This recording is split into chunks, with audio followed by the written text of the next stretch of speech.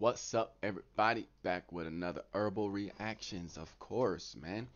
And we here about to watch um, Outlander, episode six. You already know, man. What's up, man? And I'm about to be eating some watermelon.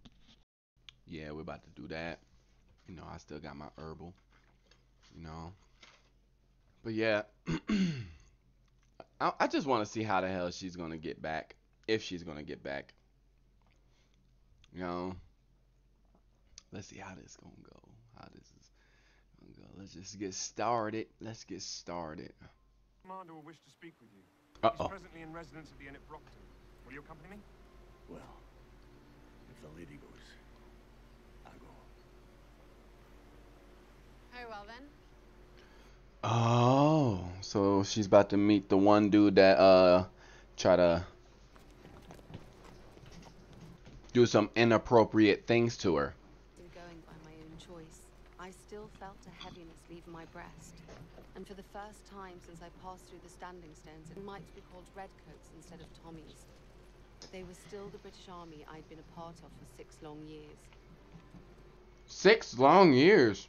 To be looked upon with sympathy and respect, instead of hostility and suspicion. You lived there for six years?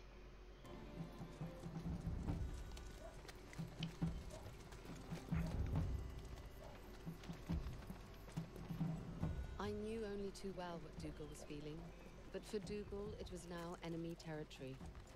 And he was the Outlander. Okay, okay. Interesting. Interesting.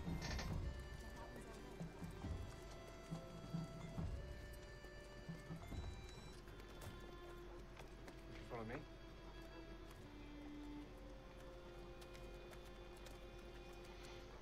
Huh, wonder where this is gonna take them.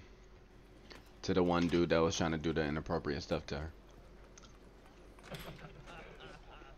My lord, may I present Mrs. Claire Beauchamp and Mr. Oh, maybe not. Come in, come in. I was just saying that because, like, when you, um, Most enjoyable surprise. what, what is the, the thumbnail to this shit had that guy. And he was doing something to somebody. I don't know. Lieutenant here claims you've quite the story to tell.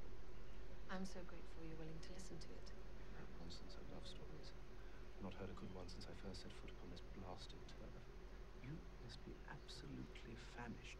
I hope venison is to your liking. Only the very best quality. I I bet. shot the beast myself. It's a great country for hunting, I'll give them that. The cheese is surprisingly edible too, and the claret is my own, bottled in 35. My lord, may I present Dougal Mackenzie, war chief to the clan Mackenzie and brother to its laird. You have the honour of meeting Brigadier General Sir Oliver Lord Thomas, Knight of the Bath and commanding officer of the Northern British Army. War chief, eh? wow. I'll say this for you, you look the part. I find That's like, that's like heavy duty respect. Please you? Or if we're being formal, you can call me Chief Mackenzie. But you meet us a war and bicker leaves us hour for each other as equals, dinna you ken? So tell me, from one laird to a Mostly trying to embarrass the lass, so you're just an arrogant wee smart. Do you know to whom you speak? Not your words, sir, and I'll have you. You pull that needle and we'll see who pricks who. Dougal, Lieutenant. Enough. We're both behaving like children. Yes, yes, quite right, quite right. The lady's sense of propriety puts us all to Sister propriety. My word, madam. If I were brave enough, I would commission you a colonel in one of my regiments. You do know how to order men about. I should So she gonna become a queen. Hmm. Maybe. Maybe. I don't know. Don't tell me. Don't tell me. It's been a delight meeting you, but I'm afraid the venison is losing its heat. I would ask you to join us, but as you can see, no room. Beastly sorry.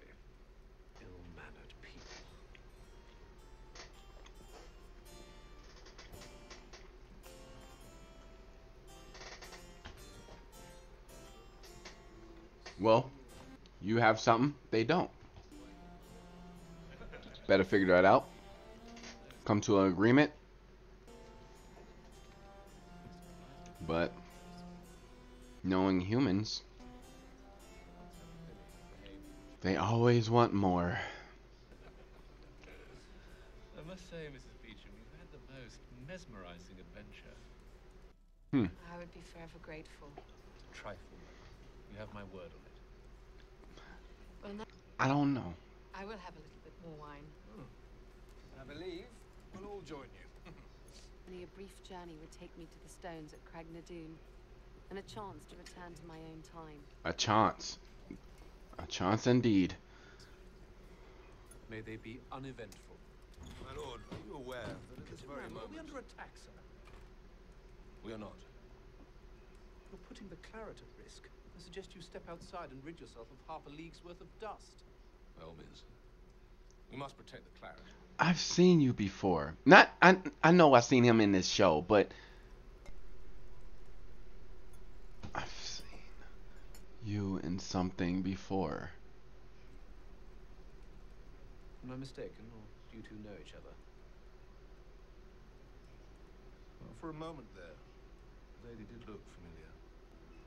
I had the same exact experience. Unusual.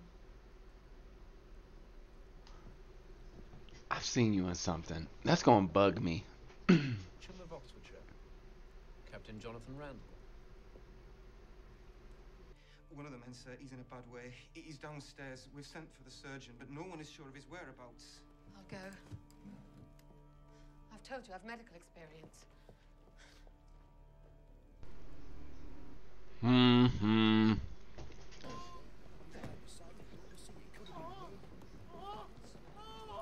Claire, you all right, lassie? I'm fine. I saw that bastard Randall could never undertake such an action without my consent. It's Randall you need to worry about. The army will be looking for someone to blame. Okay. Still, I'd feel better if you made yourself scarce. I'm fine. Stand aside. And move this bench. All right, soldier. When the Germans surrendered, I thought, Oh God. but it seemed as though I was condemned to dream about yet more young men maimed for life on the battlefield. This arm's going to have to come off. You can have a line of my short sword if it helps. Sharpened it myself yesterday. It'll have to do. And I'm going to need to use something as a tourniquet.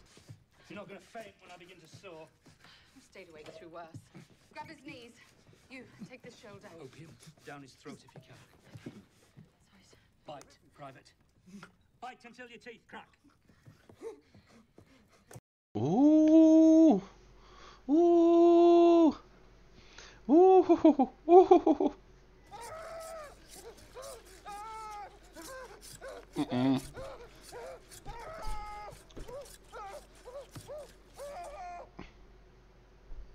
You know, in a moment like that, you know, just take my life. Just take the life. nah. He's back from saving lives. He's off hunting rebels. Not that he'll find it. Seen him on a horse, he'll be lucky to stay in the saddle. Please try not to speak, Captain. My barbering skills aren't up to shaving a moving target. I haven't been pampered like this since I was called up. I should hope not. I'm the only one allowed to pamper you, and don't you forget it. Ah. oh, when you're holding a blade to my throat. Hmm. 200 year old razor certainly kept its edge. It's not just the blade. It's the beautiful hand that wields it. Come here. That's probably where I remember him from. You'd be This! Christian. Exclusing, God no. It's been in my family for far too long. No, I shall just have to suffer through a few more rough shaves. Till I see you again. You keep it safe for me. And Who's going? It's supposed to rain today. I hope it does. I love the rain. You got him. I- I'm sorry, Captain. On my life, it was an accident. On your life. Uh, Sit down. ah. Needs a steady hand. Otherwise, he will never hit the target he aims at. You control your nerves. Your nerves do not control you. I'm I. I'm with the beardless boy.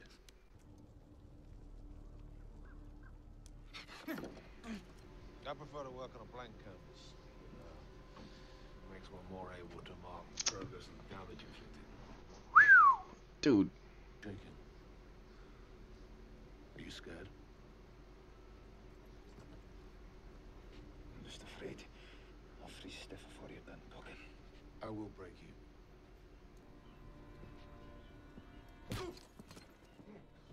that that that worth at least five freaking uh slashes, but he ain't gonna take five slashes off.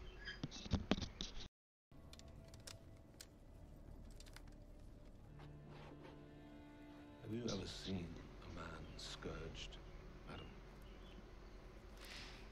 It's never pretty. And the thought of the whip coming down across that pitiful raw flesh made my stomach flutter and my legs shake. So why did you do it? Hmm? You can still see it, can't you? I I had intended to pace myself. A hundred lashes is fatiguing to the. Yeah, I bet.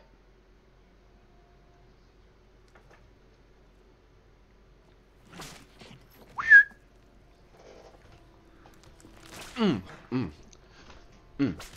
See, I, I got a whole different type of uh reaction to that, cause you know, Again, God, the boy refused to cry. My ancestors. I did he hope to stir me to pity? If he did, he was sadly mistaken. I was hurting him. I bet you could feel it. I could feel it. The sheer judder of the whip coursing up my arm, exploding into my heart. Mm-hmm. Mm-hmm. The boy would not beg for mercy.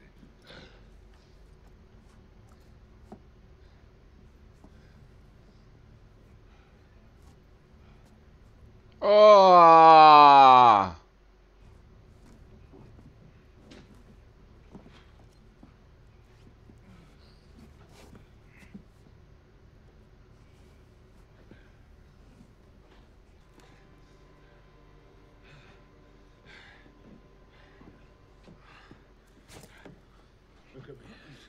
Look at me. Look me. Huh. Is that enough? Just- Is that enough?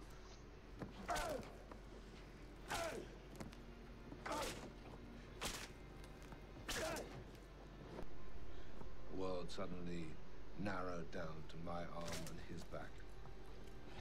The whip connecting us both. Laughter changed. First the gasps, then to sobs. God. Crowd away. That's crazy, bruh. I can feel that on my back. Blind fools. I think all they could see was the horror. I You sick. You sick.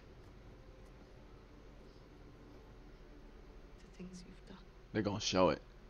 They're gonna show it. That boy and I, we were creating a masterpiece. An exquisite, bloody masterpiece.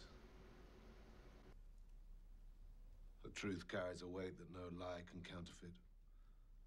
I promised that I would reveal myself to you. and I have. Yes. I believe you have. Yeah, you freaking sicko.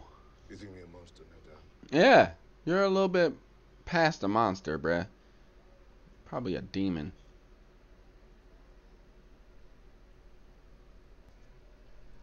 The fact that you care what I think gives me some hope yet for your soul. It would be pretty to think so.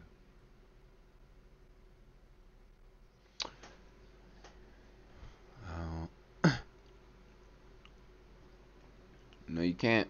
It is not too late to win back your humanity. You can choose to be the man you wish to be. Yeah. Do you think it possible that one day I might gaze upon my own reflection and not be filled with loathing? A man with your insight and self-knowledge can do whatever he wants. Don't tell him that shit, bro. Black Jack Randall.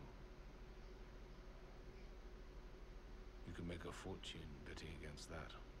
Perhaps I should begin by having you escorted to Inverness.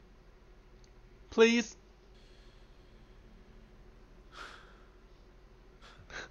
I've made you happy. Made everybody happy. Yes, you have. An odd sensation. Happiness. Beginning, perhaps. I agree. You know, you probably gonna be salty if you touch that rock and it doesn't do nothing. Mrs. Beauchamp and I require your assistance. Captain Randall, you have my deepest gratitude.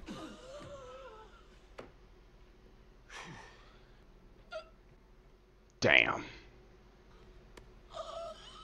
I dwell in darkness, madam. Darkness is where I belong. I need no sympathy from you, and you'll get none from me. One way or the other. Knock the wind out your ass. Corporal, have you ever kicked a woman? Sure. Wow. Thought she was gonna go home free. That's where I lied to myself. Kick her.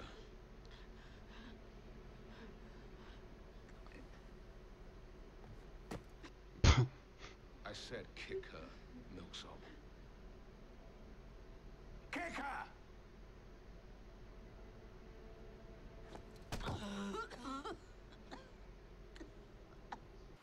If I change you from an English woman to a Scot, Into a Scot? Hmm. and the only way I can do that is for you to marry one. No, absolutely not. I, I cannot do that. Would you rather go to an English prison? So I'm to marry you. Not you. Not him. The the boy. I must admit, the idea of grinding your corn does tickle me. But it's not myself I'd be nominating for the position. Then who?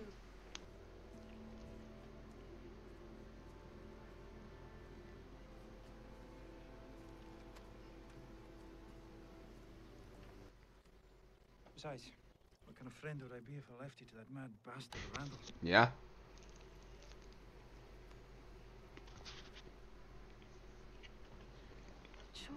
Surely a young man like yourself. Well, isn't there someone else that you're interested in? A- am I promised? Huh. No. Well. No, I'm not much of a prospect for a wife. I mean, I've nothing more than a soldier's pay to live on. And there's the minor difficulty of the price on my head. No father wants his daughter married to a man who might be arrested and hanged any time. Do you not think of that? So that's it then. Damn. As far as you're concerned, just start the honeymoon. Whatever suits you. Well, doesn't it bother you that what? I'm not a virgin? Well, uh, no. As long as it doesn't bother you that I am. Or I reckon one of us should ken what they're doing.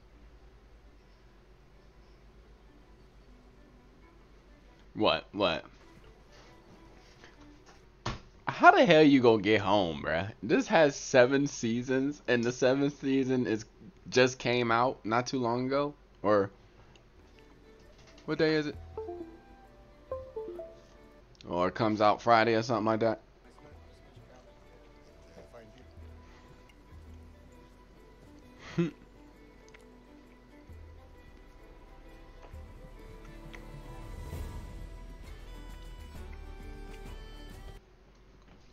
She getting married? The hell?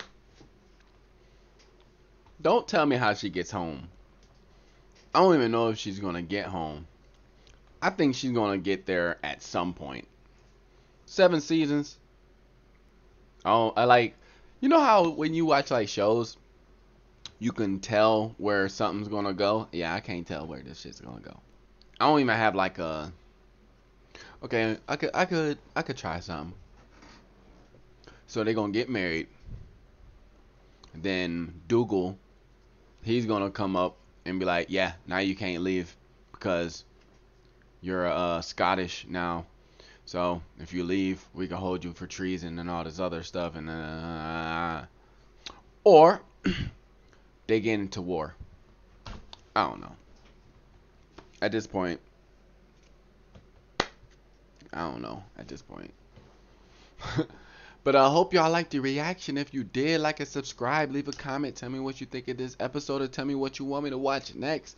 And if you want to support the channel, please go in the description and click that link that says Orion and the Green Flash and um, pre-order my book. You know, yeah. and as always, thanks for watching. Deuces.